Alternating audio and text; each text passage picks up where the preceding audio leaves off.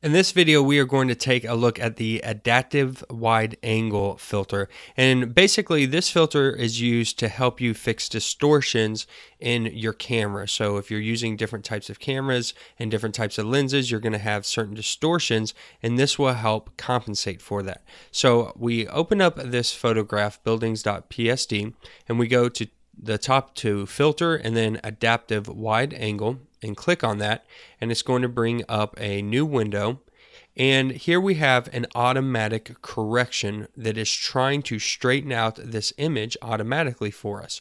So you see we have some tools on the left hand side, uh, such as a polygonal constraint tool for changing your constraints around, um, the constraint tool for making and editing constraints, and then the move, hand, and zoom tools. You see some camera information in the bottom left hand corner. So we actually know what type of camera this was taken with and some information about that camera. And because of that, it allows us to have an automatic correction and we can change the scaling of that correction. As you can see, it's chopping off some of the border, but as I change the scale, we can get rid of that border and kind of do this all in one go.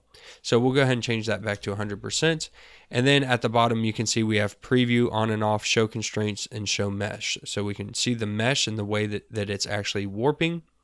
Uh, we'll sh I'll show you the constraints here in a minute, and we can turn the preview on and off. So this is what it looks like originally, and with this filter applied, you can see, especially this center uh, line here, you can see how it straightens it out.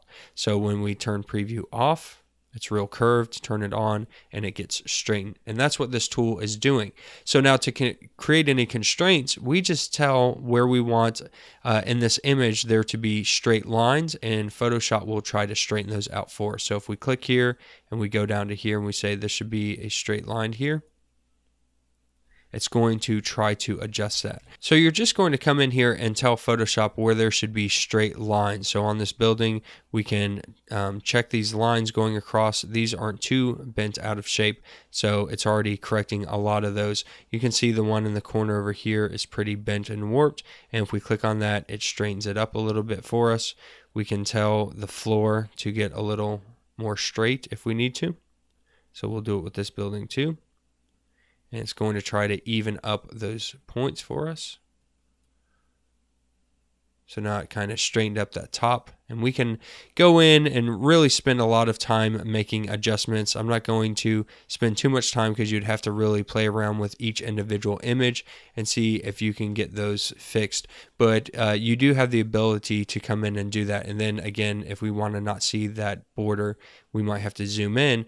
But here is the original and then here is with these filter corrections. And we could definitely make this look a lot better so we have fisheye, perspective, auto, and full spherical based on the type of corrections we need to make, whether we are making a fisheye correction from a fisheye type lens or there's a perspective problem going on we need to correct, or full spherical. But typically, auto does a really good job, and using the constraints, you can really straighten up this image. And then if you want to see the way it's warping the image, again, you can click on show mesh, and then that might help you uh, change the image around and fix that. So I've played with this a little bit. Uh, it's not a tool I've used extensively, so you can probably find some better documentation on Adobe's website. But whenever you're ready to save your edits, just click OK and it will save those out for you.